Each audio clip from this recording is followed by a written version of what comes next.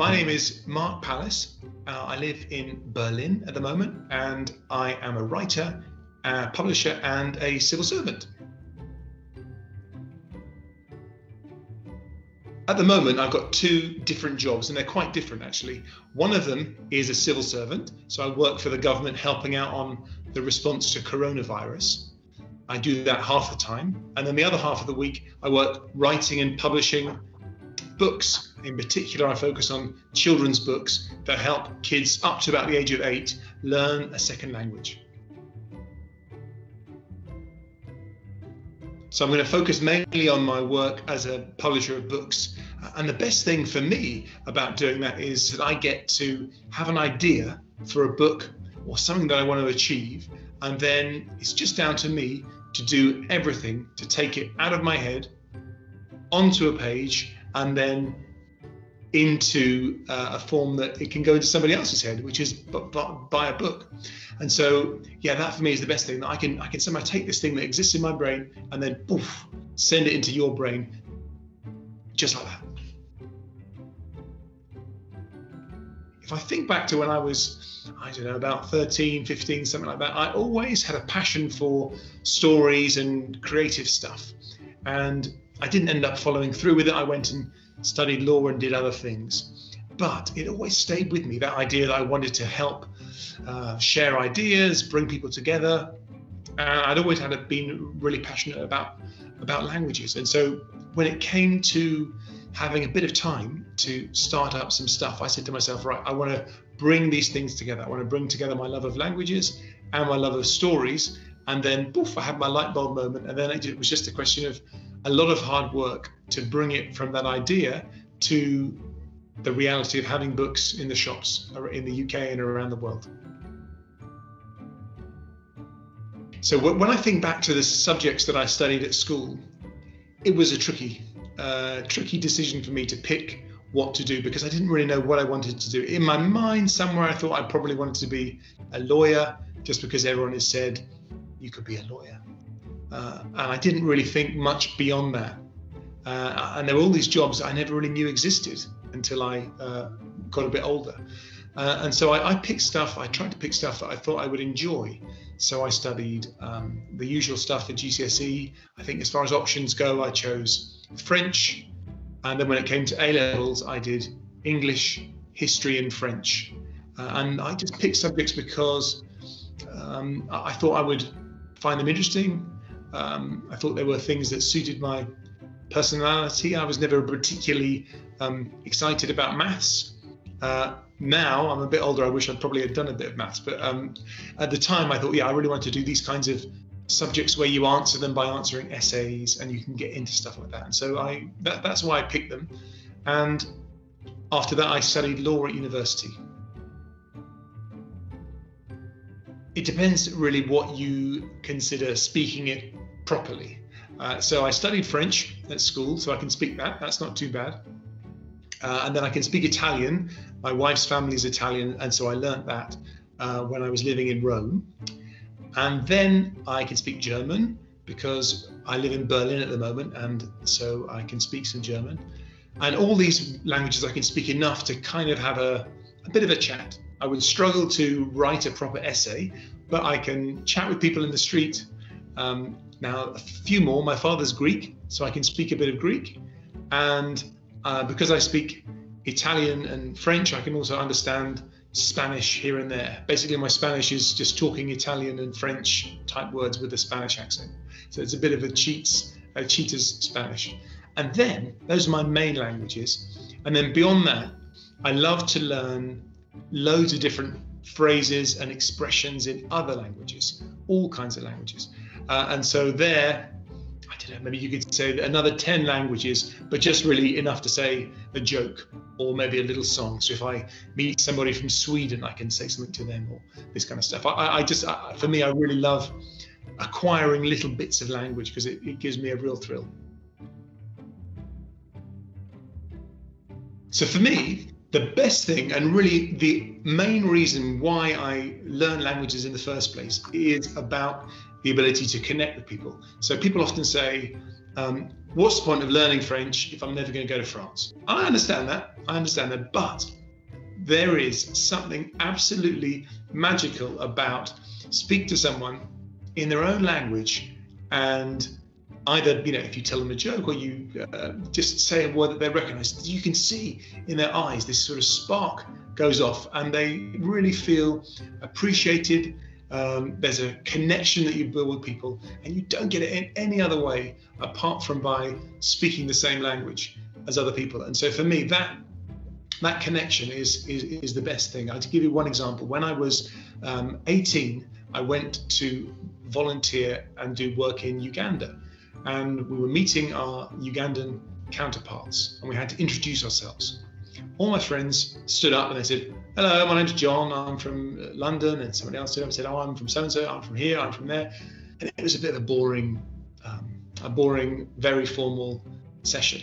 And I said to myself, You know, what can I do how, how, how, what am I going to say when it's my turn to stand up? And so I checked with the neighbor next door to me and I asked him a little question. And then it got to my turn and they asked me, who, who, who are you? And I stood up and I said, Oliocha Mukamawambe, which means greetings, my esteemed colleagues. And suddenly, just because I'd said it in a language that they recognized, everybody went woo, and we would. You know, I got a big round of applause, and it just it broke the ice in a way that you don't get if you don't make that effort to speak someone else's language. And just from there, oh, it was like everyone just sighed and let out a bit of a breath. Whew, let's have a chill out now. And so it just it's it's those kind of moments where you can connect with people by talking to them in their own language. That's where that expression comes from. Oh, he really spoke my language. You know, it's that it's that sense of it. It's that connection. And for me, that's the that's the real magic. Definitely I've got better friends. I'll give you an example. When I I wasn't originally going to learn Italian, uh, and I had a job in Rome. I was working for the United Nations as an anti-corruption investigator, and I didn't need to speak uh, Italian for my job. Uh, but I had some a group of friends who my wife had introduced me to, and they were all friends with each other, and I was the odd one out. And so they would sit there with their cappuccinos and everything else in the in the cafes chatting, and because I was there, they had to speak English, and I felt so embarrassed about it. I felt, oh my, I'm, I'm spoiling these guys' fun. English isn't their first language. I really felt uh, embarrassed about it. So I said to them, you know, don't worry, just talk Italian. I'm going to catch up. And so I made it my mission to to catch up. I, I, wasn't trying to become fluent. I just wanted to have enough to be able to, uh, you know, tell them some jokes. And so I went on eBay. I bought some CDs, secondhand CDs, and started to learn some basic sentences. And it was amazing because there was, you know, so many of the languages were, were so many of the words were the same. It's is it possible? È possibile. It's not possible. Non è possibile. And I was like, hey, hang on a second. This is easy. And so suddenly, slowly, I started to build up my confidence, and, and, and I really got some good um, friends through that. And I think if I hadn't spoken the language, we wouldn't have had the same degree of, of connection that we have. So that's one thing.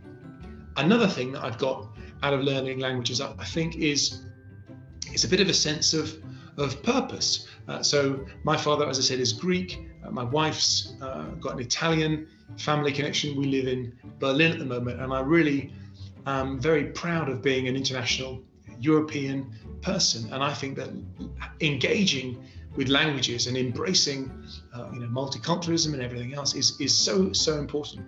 And then also moving beyond just European languages, other languages around the world too. That's really, really crucial. And so, one of the things I wanted to do with my book series was give people the chance to learn languages that they wouldn't otherwise speak. These sort of small languages where you don't really get many books, like Maltese or these kinds of things.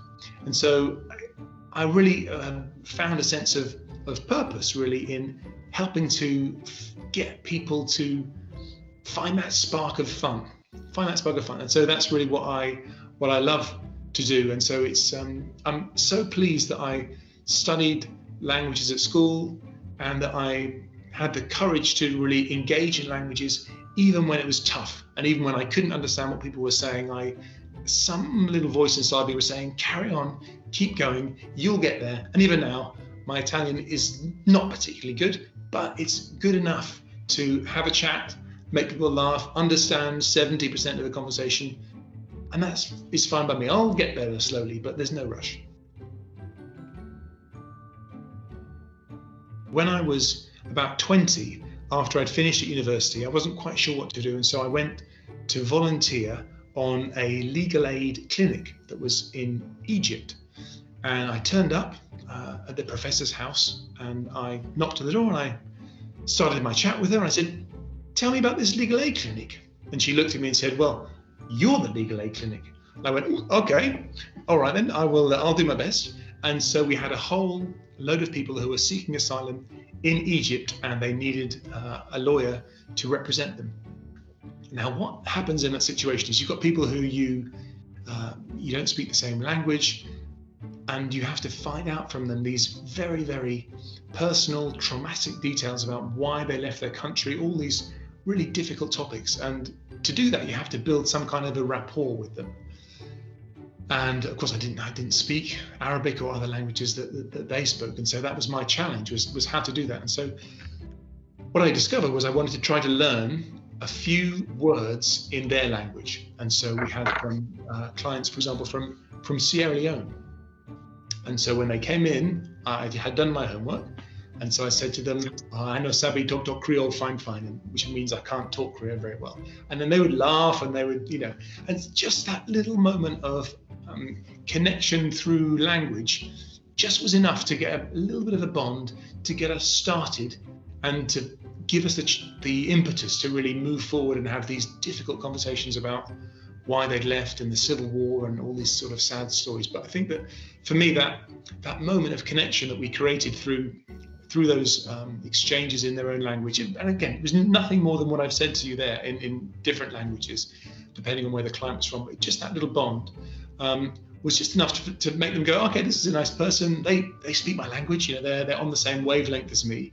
And it really um, made that sense of connection. And Even if I couldn't say anything else, uh, it just was enough to get us to get us started and help us move forward.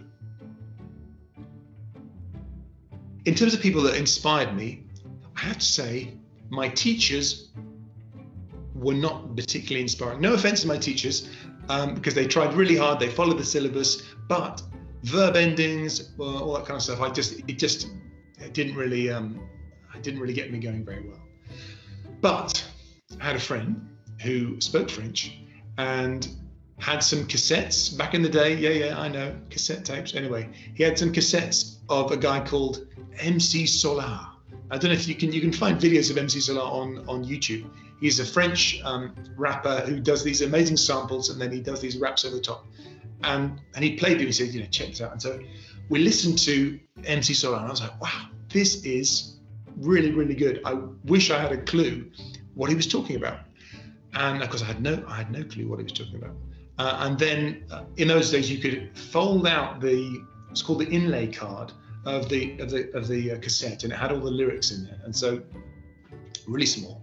So I'd sit there and kind of like trying to figure out what it was he was saying and match up the sound, and trying to rap along with him, which was very, very embarrassing. Um, but if you think about it, what I was doing was I was doing a lot of French homework, but it didn't feel like homework. It felt like I was, you know, I was trying to unlock the secrets to what this guy was saying, figuring out what his message was. He seemed like a really good guy. I wanted to understand what he what he was trying to tell people, um, and um, and so and that was was my inspiration really. Just and so I think what's what's crucial is you know finding your inspiration too. So if you're the kind of person that uh, maybe finds languages, if you love grammar, then fantastic. Uh, full respect to you.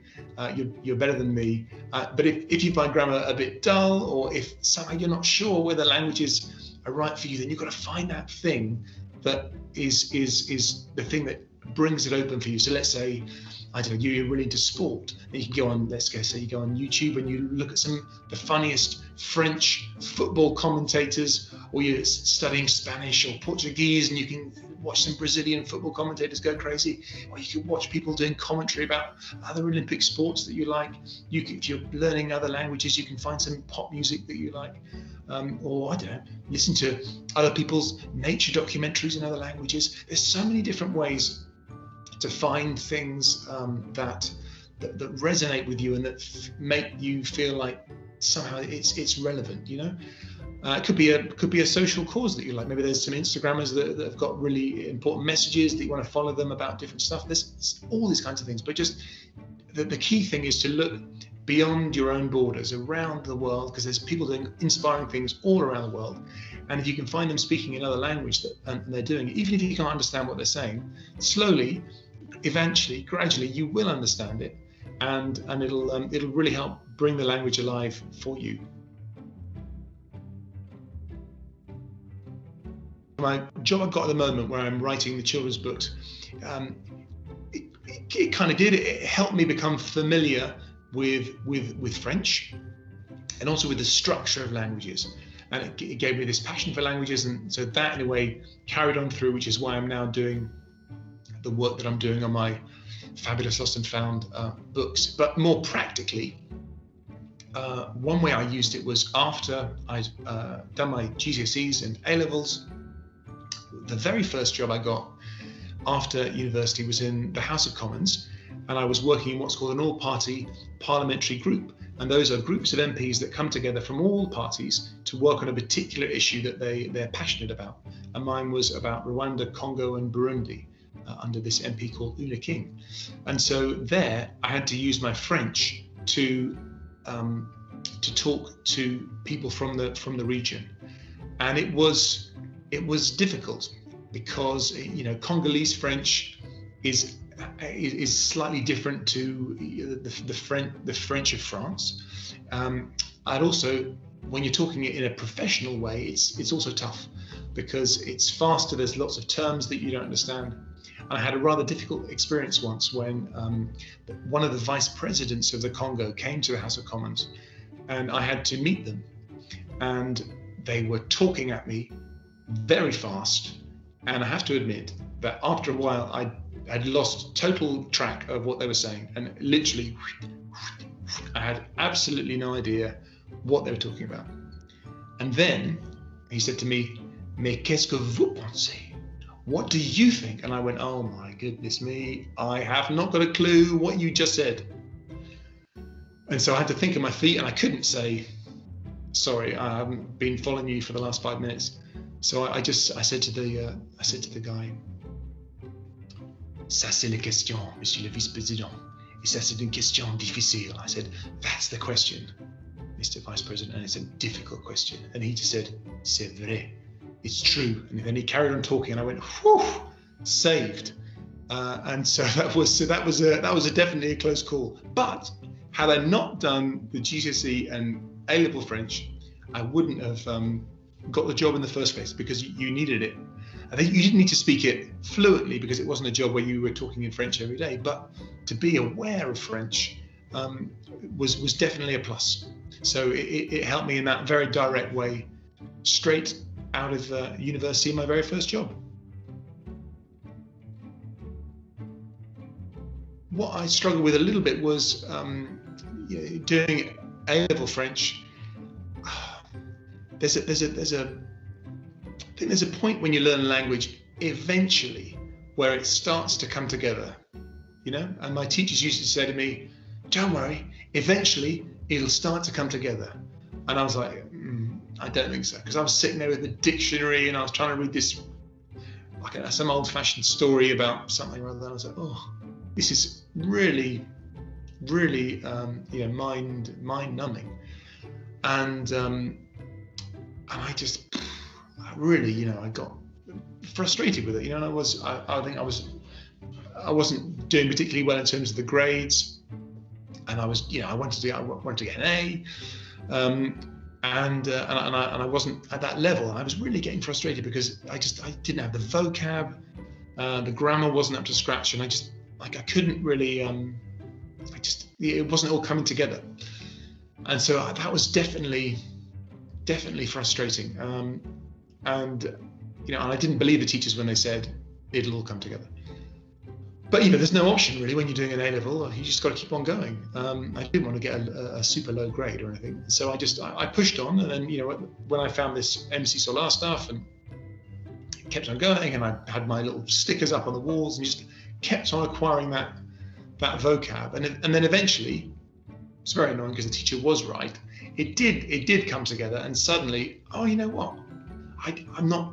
I just found myself not having to try so hard. That was that was I think was the difference. Instead of every sentence being an effort, and every sentence that you have to say, you got to think, how am I going to construct the sentence? You know, it's somehow it just started to come out a bit. And it's just through keeping on going, keeping on practicing, keeping on doing it, and um, and that I think was the was was the hardest point in it, but it was the it was the best lesson because it, it reminded me that if you carry on and if you just just speak it, just keep on going, it'll be fine. And what that's taught me is going forward when I'm doing other languages, let's say German. It's a it's a difficult language. It's got a really different um, structure, and you know, speaking French and Spanish or Italian doesn't help you at all.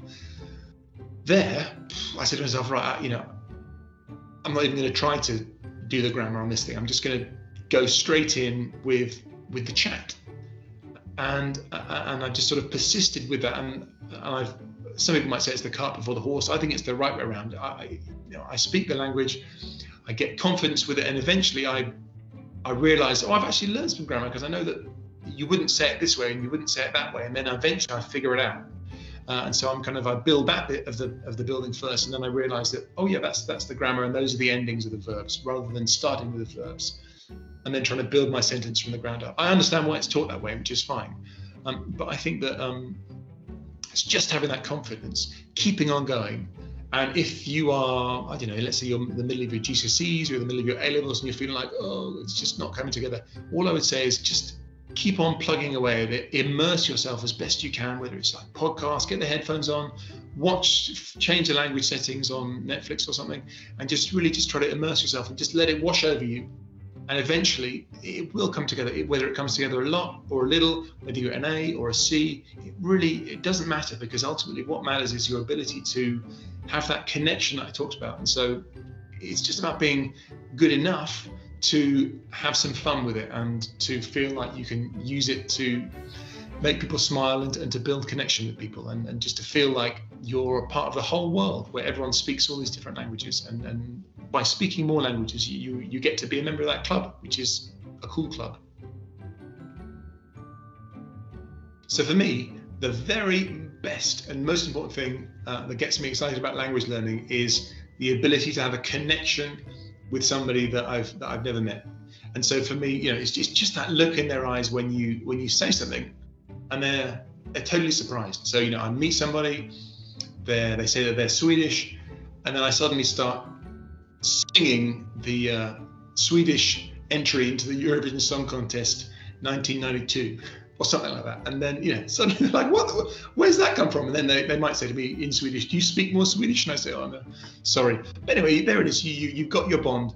You've, you, you started on the journey. And so for me, that's so, that sense of, um, that spark is so crucial that it's become the central plank of, of all the books that I write, helping kids learn languages. And so, you know, you might think that if you're a child and you want to learn a language, the most important things that you need to learn are the grammar and the, the sentences and all these key things. And I think, ah, forget about that. What you really want to learn is something that is is fun. And so in I've, I've got these books that, that I write um, called The Fabulous Lost and Found and the Little Something Mouse, the Little Spanish Mouse, the Little French Mouse.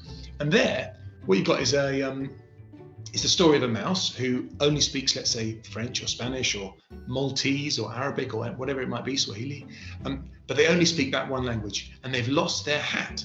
And so, one of the key sentences that you learn in another language is, I've lost my hat.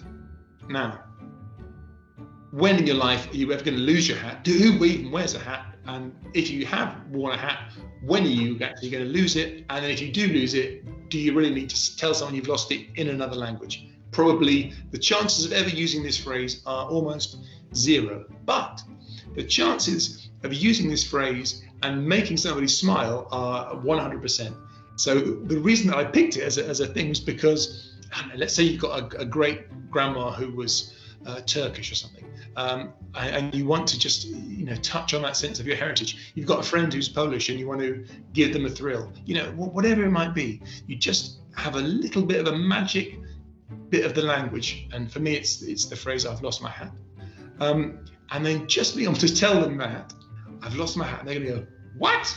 Number one, where did you learn that? And two, what are you talking about? It's just it's just really funny, I think. And and and there's the power of laughter is is so important. And just to build that connection um, is is for me the, the secret sauce. So if you're doing any languages, I would really recommend uh, jokes, um, funny stuff, um, silly things, nonsense. It's it's you know it's, it's really worthwhile because it just it helps make it fun and it makes it more fun to to speak and it's more funny for the people that you're talking to. Number one is about your mindset. So, you know, what's your mindset? It, it, are you thinking that you're going to be a simultaneous translator? There's people who, you know, you've seen them at the, the United Nations, everyone's got their earpieces in, there's a room up there, and these people are simultaneously translating exactly right with all the nuances what's being said. You know, if that's your goal, fantastic, and I, I, applaud you. Go and be a simultaneous translator. It's a great job. You learn lots of cool stuff. But if if you're you're just studying it because you think languages are, are interesting or fun, then I would say don't worry about the simultaneous translation or the you know being a literary critic in another language. Don't worry about all that stuff. Uh, focus on just understanding it.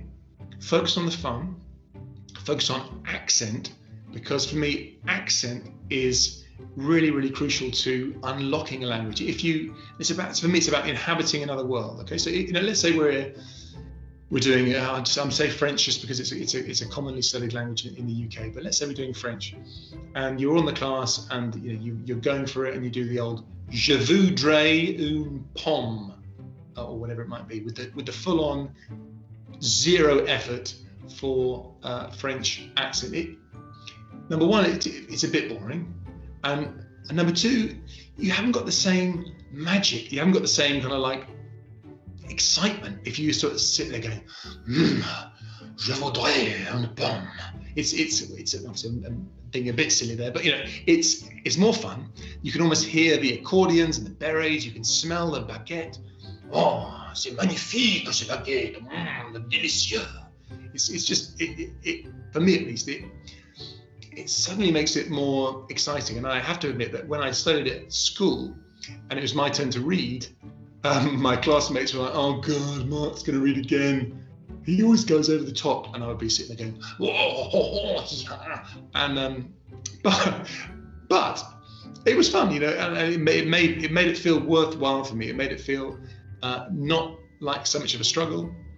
It made it feel like I was speaking proper French. And I don't know if they still do this, but you know, you get marks for your accent, and and if and they're really easy marks to get. It's just about giving it a go. Um, so those are those are a couple of top tips. One more top tip I think is, um, yeah, not not worrying about the level that you get to, and and really feeling um, proud of all of the language achievements that you get. So even if let's say you um, maybe you drop out of the language studies, um, maybe you don't manage to pass the exams, you know, I really would urge you not to let that color your experience of language. You know, what you what you gained through that study is fantastically useful, not just for now, but for the rest of your life. and so, you know, whatever you do, uh, whether you pass or fail, get an A or anything else, I, I would just encourage you to really feel proud of yourself for engaging with the language. Keep it with you throughout the rest of your life. And when you have a bit of time, you want to listen to a podcast or something, just go on eBay, buy some secondhand language cassettes or listen to stuff and do some whatever app you might prefer. Give it a go, and all the stuff that you learn will come flooding back, and it will really help you. Or even just take what you've learned and and have a have a try with it. And you know, when you're in Pret and there's a French server, just you know, try chatting to them, say oh, merci beaucoup, or whatever it might be, um, and it will really um, reap uh, dividends. People are always talking about the fact that we've got uh, you've got Google Translate, DeepL, whatever it is that you use. I mean, there's going to be like simultaneous digital translation. There's definitely apps I think you can uh, you can talk into and it talks it out. So, is there any point uh, learning a foreign language in that situation?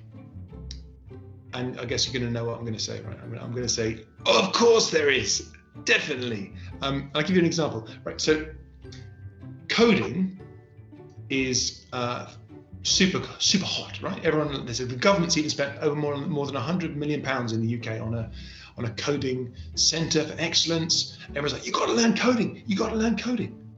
But you know what? Coding, Python, the main language of coding, is spoken fluently, if you want, by less than less people than speak Kinyarwanda. So in terms of languages, it's a bit niche. And what you have to remember with coding, at least, is that what you get from coding isn't the ability to be a fluent coder and you can only go and be a coding person. What you get is the ancillary benefits, right? You get to understand about logic, how computers work, how programs are put together, how things are sequenced, why things happen in the way that they do, and that's worthwhile. So even if you never want to be a programmer, coding is still a worthwhile thing to do. But what people don't say so much is that exactly that same benefit is true of learning a language. So there's so many studies that show you that the simple fact of learning a language grows your brain. That's a, the, the, short way of putting it. But yeah, there's trust all these PhDs and professors who've said it is a really good thing. But it just, I mean, it, you can imagine it, right? You, you're trying to learn how to say something in more ways than one. You can actually almost feel these neural networks firing, new connections growing in your brain because you are building the ability to say things in a new way. You're building the ability to hotwire your brain so that you can think in a different way. But also, you're building other skills to do with empathy, to do with seeing things from other points of view, to do with feeling like you're part of a, a bigger world and you're understanding the connections between different cultures. Okay, so you know, English, for example, is very similar to other languages. And when you start to trace and see the way that the different words flow between different languages, it's, it's really, really crucial. And so I think, regardless of whether there's an instantaneous um, app that will make it all worthwhile, that's all fine. And you can use that if you want to. But what that will never get you is, will never get you that smile that will never get you the ability to unless of course it goes wrong and you want to say something like uh, where's the chip shop? and it says you know i need to go to the loo or something then i'm sure that would that would raise a laugh. But on normal levels if you if you want to have that personal connection which i'm saying is one of the key reasons for doing it to really be able to have a link with people and to just to, just to really feel them in a way, whether it's your family, extended family, or, or friends, or, or, friends that you may yet make when you're traveling around or seeing other people. You know, the, the language is is the is the crucial bit, and it doesn't matter if you can't speak it well. Just the fact of trying, just that fact of trying, is enough to make that connection, and that's where the real value for me lies. So yeah, forget about the app just go on there, learn some phrases, and then poof, you're going to get the results, I think.